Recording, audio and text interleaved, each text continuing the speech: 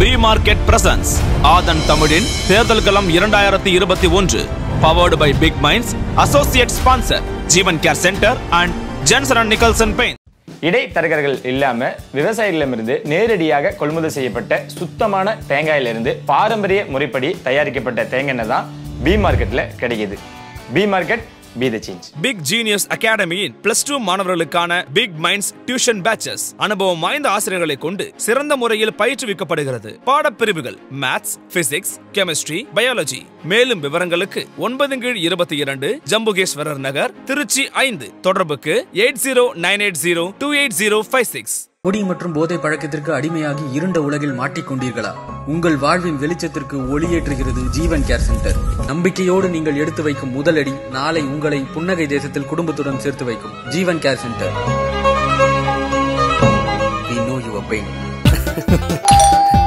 டக்குனு காயும் நச்சுன்னு ஜொலிக்கும். Jensen and Nicholson quick drying PU enamel Jensen and Nicholson Paints. ஆயிரத்தி தொள்ளாயிரத்தி எழுபத்தி ஏழாம் ஆண்டு எஸ் ஆர் ராதா அதிமுக சார்பில் போட்டியிட்டு வெற்றி பெற்றார். எண்பதாம் ஆண்டு காங்கிரஸ் கட்சியின் சார்பில் போட்டியிட்ட பக்தீர் முகமது வெற்றியடைந்தார். எண்பத்து நான்காம் ஆண்டு காங்கிரஸ் சார்பில் போட்டியிட்ட கிருஷ்ணமூர்த்தி வெற்றி பெற்றார். எண்பத்து ஒன்பதாம் ஆண்டு கோ சி மணி திராவிட முன்னேற்ற கழகத்தின் சார்பில் போட்டியிட்டு வெற்றி பெற்றார். தொன்னூற்று ஓராம் ஆண்டு ராமநாதன் அவர்கள் அஇஅதிமுக சார்பில் போட்டியிட்டு வெற்றி பெற்றார். தொன்னூற்று ஆறாம் ஆண்டு திமுக சார்பில் போட்டியிட்ட கோசி மணி வெற்றியடைந்தார். இரண்டாயிரத்தி ஓராம் ஆண்டும் தொடர்ந்து இரண்டாவது முறையாக திமுக சார்பில் போட்டியிட்ட கோசி மணி அவர்களே வெற்றியடைந்தார். இரண்டாயிரத்தி ஆறாம் ஆண்டும் திமுக சார்பில் போட்டியிட்ட கோ சி மணியே வெற்றி பெற்றார். இரண்டாயிரத்து பதினோராம் ஆண்டு திமுக சார்பில் போட்டியிட்ட சாக்கோட்டை க அன்பழகன் வெற்றி பெற்றார். இரண்டாயிரத்து பதினாறாம் ஆண்டு திமுக சார்பில் போட்டியிட்ட க. அன்பழகன் அவர்களே வெற்றி பெற்றார். கும்பகோணம் சட்டமன்ற தொகுதியில் காங்கிரஸ் கட்சி ஐந்து முறை வெற்றி பெற்றிருக்கிறது. திமுக அதிகபட்சமாக ஆறு முறை இத்தொகுதியில் வென்றிருக்கிறது. இந்திரா காங்கிரசும் ஸ்தாபன காங்கிரசும் தலா ஒரு முறை இத்தொகுதியில் வென்றிருக்கின்றன.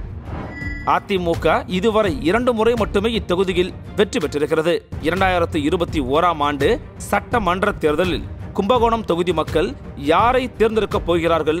மக்களின் பதில்கள் இதோ. ஆதரவு யாருக்கு வரப்போற தேர்தலில். எடப்பாடியாருக்கு தான் அதிமுகவுக்கு தான். திமுக வரும் எடப்பாடி அரசு வந்து தமிழக அரசு நல்லா செஞ்சுக்கிட்டு இருக்கு. அதனால அவரே வந்தால் நல்லா இருக்கும்னு நாங்கள் நினைக்கிறோம். கேப்டன். உதயசூரன் போடும் எடப்பாடி தான். நோட்டா தான் சார்.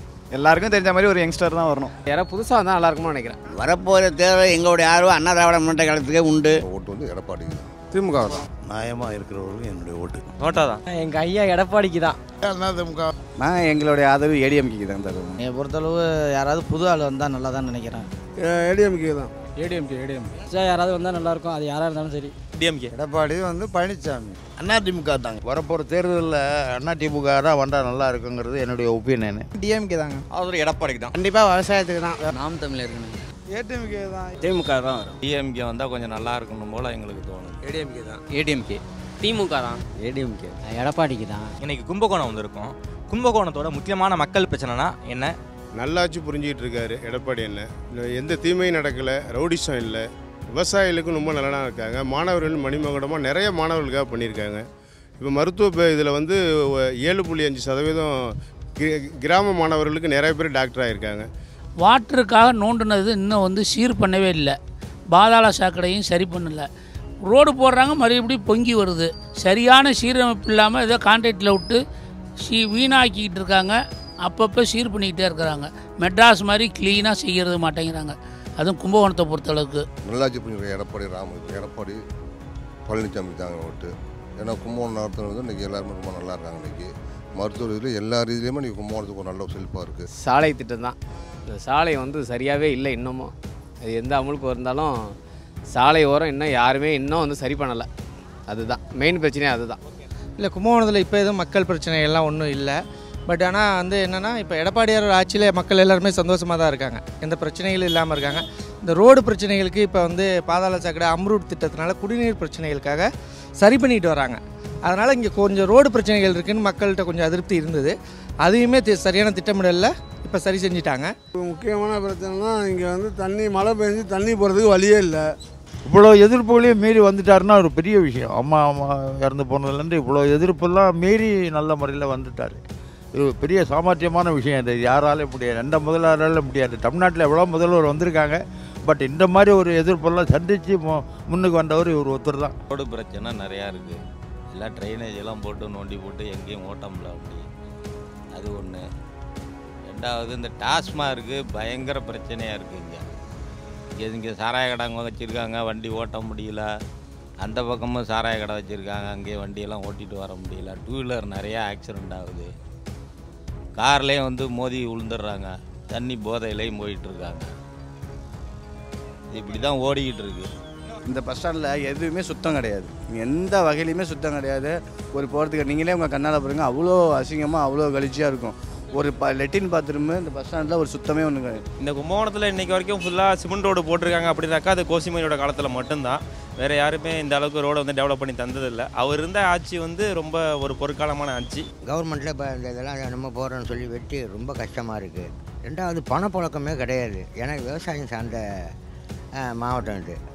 ரோடு சரியில்லை. அது இல்லாமல் வந்து சாலை வசதி சுத்தமாக ஒன்றுமே கிடையாது. எங்கே பார்த்தாலும் குண்டு குழியுமாக தான் இருக்குது தண்ணி அப்பப்போ சில நேரத்தில் தண்ணி ரோட்டுங்கெல்லாம் முனிசிபாலிட்டி தண்ணி குடிநீர் தண்ணி உடச்சிக்கிட்டு போகுது. அதையும் கண்டுக்க மாட்டேன்றாங்க.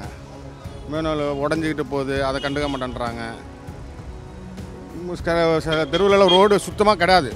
முக்கியமான பிரச்சனை முனிசிபாலிட்டி செயல்படணுங்க முனிசிபாலிட்டி செயல்படல சாலைகள் சரியில்லை. பார்த்தீங்கன்னா பாதாள சாக்கடை வந்து குடிநீரோடு சேருது. ரோடே இல்லை. நிறைய இதனால் ஆக்சிடென்ட் நடக்குது. சொல்லப்போனால் ஆம்புலன்ஸ் தான் நிறையா ஓடிட்டு இருக்குன்னு சொல்லலாம். இந்த நடக்கிற ஆக்சிடென்ட்னால கும்பகோணம் நகராட்சியை பொறுத்தளவுக்கு இந்த சாலை ஓரங்கள் என்ன இதெல்லாம் துப்பராகவே பணி செய்யவில்லை. எங்கும் பார்த்தாலும் குண்டும் குழியுமாகவே இருக்கிறது.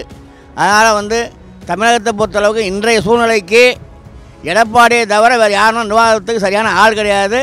அது மாற்றம் வந்தாலும் ஏற்படும் வழியும் கிடையாது. கும்பகோணத்தில் ஒன்றும் பிரச்சனையே கிடையாதுங்க. அவங்கவுங்க உழைச்சாவே பிரச்சனையே கிடையாது. எல்லாமே நல்லா தான் இருக்குது கும்பகோணம். கட்டின வாட்டர் டேங்கை க்ளீன் பண்ணி சுத்தமாக தண்ணீர் விட்டாலே போதுமானது. இந்த சர்க்கார் செய்தா செய்யலைங்கிறது எங்களுக்கு தெரியல.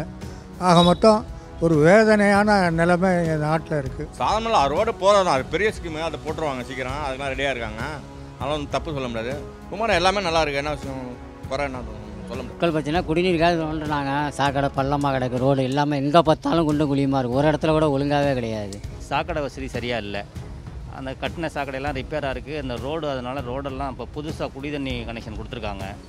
அது வந்து இன்னும் சரியான வேலை நடக்காதனால எல்லாம் ரோடு பூரா ரொம்ப டேமேஜாக இருக்குது எல்லா ரோடுமே மோசமாக இருக்குது வெறும் கு- குழியமாக குழியுமாக தான் இருக்குது ரோடு ரொம்ப குண்டு குழியமாக இருக்குது நோண்டுறாங்க ஆனால் கூட மாட்டுறாங்க ரோடு எங்கே பார்த்தாலும் குண்டு குழியுமாக தான் இருக்குது கிராமத்தில் ரோடு நல்லா இருக்குது டவுனில் ரோடு மோசமான சூழ்நிலை இருக்குது அந்த மடத்தூர்லாம் சுத்தமாக நடக்கவே இல்லை வயலில் நடக்கிற மாதிரியே இருக்குது மடத்தூர் ஃபுல்லாக நான் ஏன் அடிக்க அந்த போனாக்க.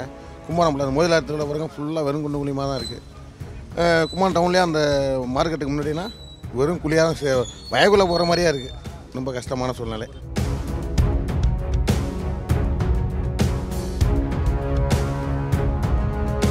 இன்றைக்கி நாம் சரியாக தஞ்சாவூர் மாவட்டம் கும்பகோணம் சட்டமன்ற தொகுதியில் இருக்கோம். இங்கே இருக்கக்கூடிய பெரும்பான்மையான மக்கள் திமுகவுக்கு தான் தங்களுடைய ஆதரவை தெரிவிச்சிருந்தாங்க. இந்த தொகுதியோட மிக முக்கியமான பிரச்சனை என்னென்னு மக்கள்கிட்ட கேட்ட பொழுது தாராசுரம் கும்பகோணம் சாலையை சீரமைக்கணும் அரசலாரையும் காவேரியையும் தூர்வாரணும் அப்படிங்கிற கோரிக்கையை முன் வச்சுருந்தாங்க.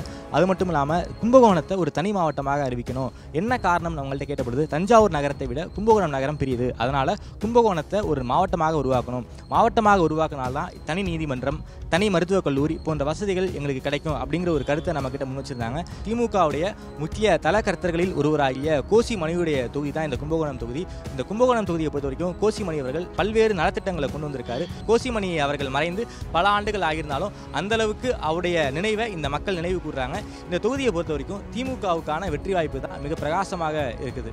ஆதன் தமிழன் இரண்டாயிரத்தி இருபத்தி ஓராம் ஆண்டு தேர்தல்குளம் சார்பாக திரு தாமரை செல்வன் தஞ்சாவூர் மாவட்டத்தில் இருக்கக்கூடிய கும்பகோணம் சட்டமன்ற தொகுதிக்கு களத்திற்கு சென்றிருந்தார். அவர் அங்கு சென்று எடுத்த ஆய்வுகளின் அடிப்படையில் மக்களின் கருத்துகளின் அடிப்படையில் திமுக வெல்வதற்கான வாய்ப்புகள் இருப்பதாக தங்களுடைய கருத்துக்களை பதிவு பண்ணியிருக்கிறாரு. நம்ம இன்னொரு பார்வையை பார்க்கும்போது இரண்டாயிரத்தி பதினாறாம் ஆண்டே திமுக வந்து அதிகமான ஒரு வாக்கு வித்தியாசத்தில் தான் வெற்றி பெற்று இருந்தாங்க. ஆனால் தற்போது அதிமுகவினுடைய பிரச்சாரம் மற்றும் அன்றைய நேரத்தில் தனித்தனியாக நின்றிருந்த கட்சிகள் பாமக அதே போல் தேமுதிக போன்ற கட்சிகள் எல்லாம் இன்றைக்கு அதிமுகவினுடைய கூட்டணி இடம்பெற்றிருக்கிறாங்க. ஸோ அதிமுகவினுடைய கூட்டணி கட்சிகள் பெற்றிருந்த வாக்குகளும் கொஞ்சம் கூடுதலாக தான் அந்த ரெண்டாயிரத்தி பதினாறாம் ஆண்டு இருந்துச்சு.